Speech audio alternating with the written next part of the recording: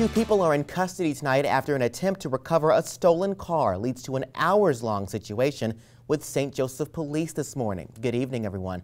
I'm Ron Johnson. The incident started around 7.30 this morning. That's when police found the car and attempted to pull it over. Police said the driver took off and was later found at a home in the 2600 block of South 28th Street. The suspects barricaded themselves in the home before officers finally forced entry. One man and a woman were taken into custody without incident. The man involved, we're told, did have previous warrants out for him.